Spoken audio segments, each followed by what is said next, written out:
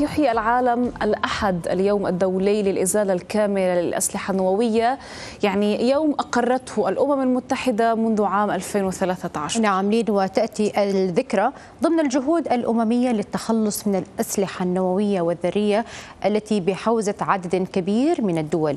وتأتي أيضا لتذكير العالم بالمآسي التي تسببها الأسلحة النووية في حال تم استخدامها. بالفعل يتزامن الاحتفال مع بروز مؤشرات إيجابية بشأن المفاوضات المتعددة الأطراف لوقف طموحات إيران النووية والتي تناقش على هامش اجتماعات الأمم المتحدة.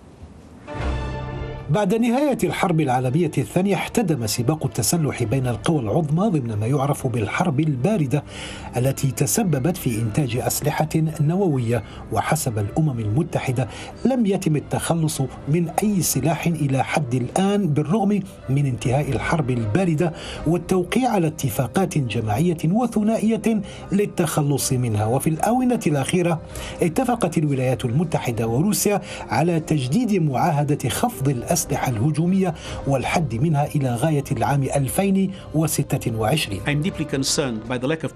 أنا قلق جدا من التأخر في التوصل إلى عالم خال من الأسلحة النووية. الدول التي تمتلك أسلحة نووية قامت في السنوات الأخيرة بتطوير ترسانتها غير أن قرار الولايات المتحدة وروسيا بتمديد العمل باتفاقية ستارت الجديدة للحد من السلاح النووي كانت محل ترحيب وخطوة أولى على طريق الحد من التسلح.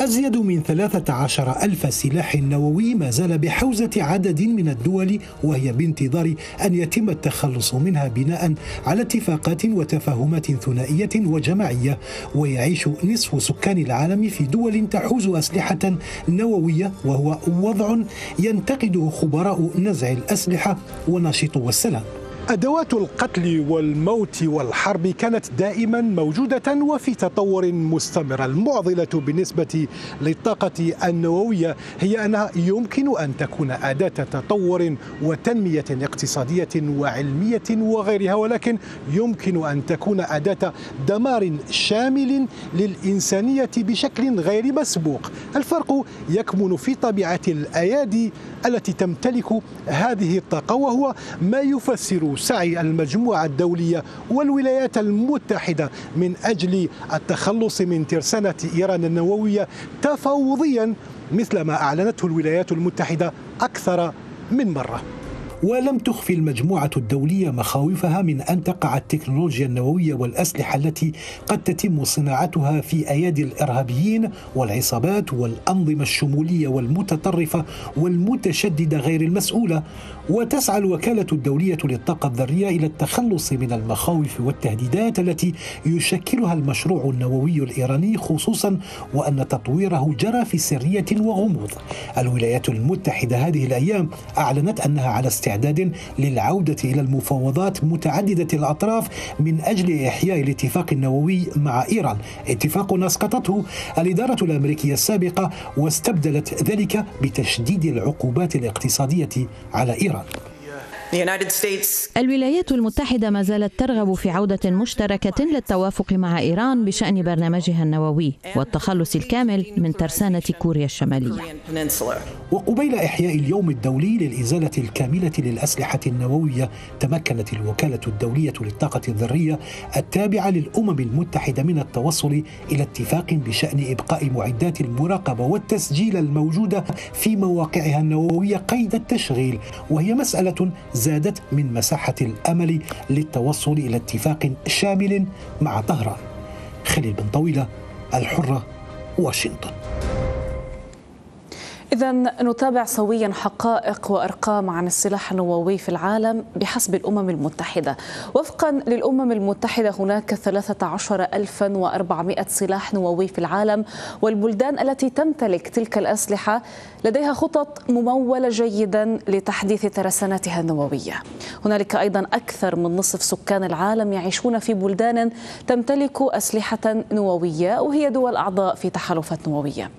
إزالة الأسلحة النووية كان من ضمن أهداف الجمعية العامة للأمم المتحدة منذ قرار عام 1946 بناء عليه تم إنشاء لجنة للطاقة الذرية في العام 1957 أما في عام 1978 أقرت الدورة الاستثنائية الأولى للجمعية العامة بأن نزع السلاح النووي ينبغي أن يكون الهدف والأولوية. أما في ديسمبر عام 2013 اقترحت الجمعية العامة هذا اليوم العالمي والذي كان بمثابة المتابعة للاجتماع أو للإجماع المعني بنزع السلاح النووي. ذكرت الأمم المتحدة أنه اعتبارا من عام 2017 ورغم الانخفاض الكبير في الأسلحة النووية التي نشرت في ذروة الحرب الباردة فإنه لم يدمر فعليا رأس نووي واحد ولم تجرى أي مفاوضات متعلقة بنزع السلاح النووي. في العام 2019 انسحبت الولايات المتحدة من معاهدة القوى النووية متوسطة المدى المبرمة عام 1987 1980 واتهمت روسيا بانتهاك الاتفاق الثنائي. فيما أنهارت المعاهدة استمرت الصين في بناء مثل هذه الأسلحة ولم تظهر أي مبادرة على التزاماتها بالانضمام إلى مثل هذه المحادثات لوقف انتشارها. توصلت روسيا والولايات المتحدة في أوائل فبراير عام 2021 إلى اتفاق لتمديد النسخة الثالثة من معاهدة الحد من الأسلحة الاستراتيجية الهجومية والتي عرفت بنيو ستارت وهي الصفقة العاملة الوحيدة بين الطرفين حول تقليص السلاح. إذا لين خلينا كمان نستذكر يعني محطات في المفاوضات الدولية مع إيران من أجل إحياء الاتفاق النووي. نبدأ من يناير 2021 أو عفوا 2020 حيث تم تفعيل آلية حل النزاعات في الاتفاق النووي أو ما عرف بآلية فض النزاع النووي مع إيران من قبل الأوروبيين وتحديدا فرنسا بريطانيا وألمانيا. وفي يناير 2020 أيضا أعلن الرئيس الإيراني السابق حسن روحاني زيادة اليورانيوم المخصب بمعدلات أعلى من الاتفاق. وفي نوفمبر 2020 ازدادت نسبة اليورانيوم المخصب إلى 12 وهو ضعف الحد المتفق عليه. وفي إبريل من عام 2021 بدأت محادثات غير مباشرة ما بين طهران وواشنطن ضمن ما عرف بالمحادثات محادثات فيينا التي وصلت إلى ست جولات بمشاركة مجموعة أربعة زائد واحد وهي روسيا والصين وفرنسا وبريطانيا وألمانيا. وفي إبريل عام 2021 قامت إيران بتخصيب اليورانيوم بنسبة 60% غير آبها باعتراضات المجتمع الدولي لمشروع لمشروعية آه هذه هذا المشروع النووي وأيضا العقوبات التي قد تطالها. بالفعل أما في يونيو 2021 كانت الجولة السادسة من محادثات فيينا حيث انتهت بالتعليق قبل تسلم الرئيس الإيراني الجديد إبراهيم رئيسي مهامه في أغسطس 2021 أما في يوليو 2021 لوح روحاني الذي كان لا يزال في السلطة إلى أن طهران يمكنها تخصيب اليورانيوم بدرجة نقاء تصل إلى 90% في الشهر الحالي في سبتمبر بالتحديد 2021 تسارعت المطالب الدولية لطهران باستئناف مفاوضات النووية عبر مؤتمر عام للوكالة الدولية للطاقة الذرية عقد لمدة خمسة أيام تم خلاله التركيز على إعادة إحياء الاتفاق النووي من حيث انتهت الجولة السادسة من مباحثات فيينا في يونيو الماضي. عموما حتى نتكلم عن هذا الموضوع بتفاصيل أكثر. ينضم إلينا من نيويورك الباحث والمفكر السياسي مهدي عفيفي. أهلا وسهلا بك سيد مهدي. بداية دعنا نذكر بتعريف السلاح النووي وما هي شروط يعني امتلاكه. صباح الخيرات تحياتي إليكم وإلى المشاهدين الأعزاء.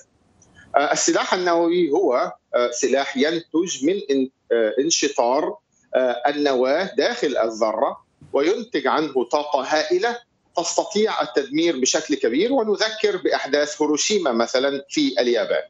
لذلك امتلاك هذا النوع من السلاح يمكن لمن يمتلكه أن يضرب بقعة كبيرة من الأرض ويؤدي إلى تدمير وقتل الآلاف بل قد تصل إلى الملايين. طيب أستاذ مهدي في الوقت الذي فيه أكثر أو يعني حوالي تسع دول تمتلك سلاح نووي لكن آه، سلاح إيران النووي هو الشغل الشاغل للمجتمع الدولي برمته لماذا يشكل سلاح إيران تهديدا جديا؟ إيران تقع في منطقة حيوية في منطقة الشرق الأوسط وبالقرب من أهم حلفاء إسرائيل الولايات المتحدة الأمريكية إسرائيل أهم حلفاء الولايات المتحدة الأمريكية وأيضا في منطقة قريبة من أوروبا.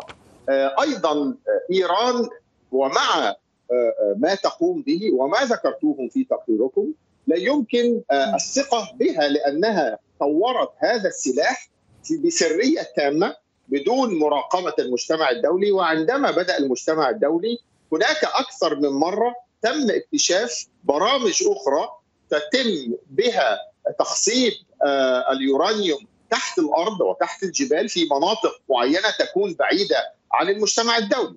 المسألة الثانية أن من تجارب المجتمع الدولي مع إيران نرى أن إيران تعمل على الضغط من خلال أزيالها أو من خلال حلفائها في التوسع في منطقة الشرق الأوسط ومثلا تمد هؤلاء مثل الحوثيين وغيرهم بأسلحة مثل الطائرات المسيرة. وذلك يضر بالمصلحة العامة واصلا يضرب دولة مثل المملكة العربية السعودية والتي قد تؤدي إلى ضرب مناطق البترول في المنطقة العربية والتي قد تؤدي إلى كارثة عالمية في الناحية الاقتصادية.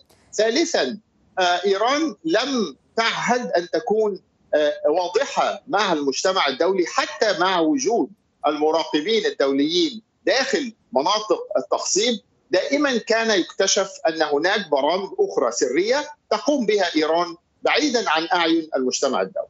طيب يعني السيد مهدي هل تتوقع إنه قد تصل الولايات المتحدة مع المجتمع الدولي إلى الحد من أنشطة إيران النووية؟ هل تستطيع؟ هل هي قادرة على ذلك؟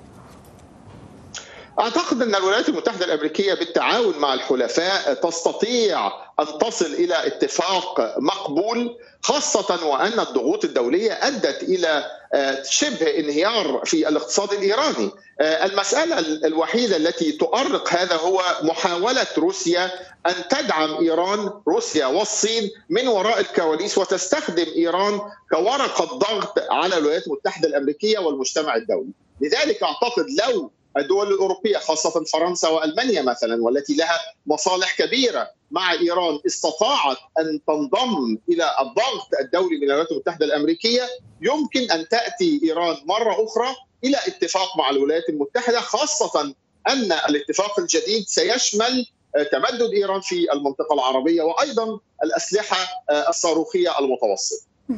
لكن يعني أستاذ مهدي في ظل الحديث عن الجولة الجديدة المرتقبة هل تعتقد إنه المؤتمر العام للوكالة الدولية للطاقة الذرية واللي استمر لمدة خمسة أيام سيلقي بأي صدى لدى الجانب الإيراني؟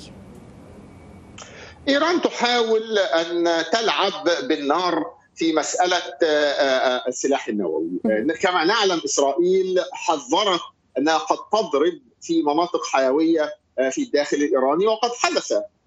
أعتقد أن المسألة هي محاولات إيران للحصول على أكثر المزايا من الولايات المتحدة الأمريكية خاصة الأموال التي تم حظرها مع إيران والمؤسسات الإيرانية التي تم إيقاف التعامل معها والبنوك التي قامت بقطع العلاقة مع إيران يمكن من استمرار الضغط الدولي أن تأتي إيران إلى طاولة المفاوضات مرة أخرى ويمكن أن يكون هناك تفاهم وإعادة تقسيم هذه المسألة، الإدارة الأمريكية ترى أنه كل الشروط لابد من تطبيقها ولكن هناك مرونة في البدء بتطبيق شروط معينة ومن ثم الدخول في مفاوضات أخرى لمثلا تمدد إيران وتمويلها للجماعات الإرهابية وأيضا مسألة الأسلحة البالستية متوسطة المدى لدى إيران.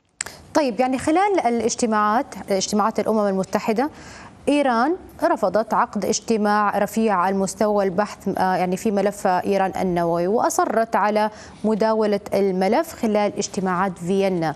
برأيك لماذا هذا الرفض من جانب طهران؟ لابد أن نعلم أن النظام الإيراني يعني بالداخل الإيراني بشكل كبير. هناك شبه انهيار اقتصادي هناك تعاطي خاطئ بشكل كبير وخطر مع جائحة كورونا هناك مأساة حقيقية داخل طهران. لذلك يحاول النظام الإيراني إظهار نفسه بأنه قوي أمام المجتمع الإيراني وأيضا أمام حلفائه واذياله سواء كانت في المنطقة العربية في اليمن أو في لبنان أو في غيرها. لذلك المسألة ستكون من يستطيع أن يستسلم في الخطوة الأولى، النظام الإيراني الجديد والرئيس الإيراني الجديد المعروف بتشدده يحاول الضغط على الولايات المتحدة الأمريكية والمجتمع الأوروبي. لكن في الواقع دائما هذه المفاوضات تأتي من وراء الكواليس بتغيير بعض النقاط العالقة والتي يمكن بها أن يبدأ هذا الاتفاق على خطوات مختلفة قد لا تكون كما ترضى إيران 100% أو كما ترضى نعم. الولايات المتحدة الأمريكية 100% لكن المجتمع الدولي يرى أنه لابد أن يكون هناك نوع من أنواع الاتفاق، المسألة هي مسألة وقت وتفاوضات في مسائل عالقة منذ فترة طويلة. أستاذ مهدي سريعا من فضلك، يعني هل جعلت معاهدة حظر التجارب النووية العالم أكثر اماما حسب رأيك؟ في الحقيقة لا أعتقد لأن العالم لم يلتزم بمعاهدة حظر الأسلحة النووية ولكن هناك محاولات وأعتقد في المستقبل القريب مع الضغط الشعبي يمكن أن يكون هناك حلول. شكرا لوجودك معنا الباحث والمفكر السياسي أستاذ مهدي عفيفي شكرا جزيلا لك.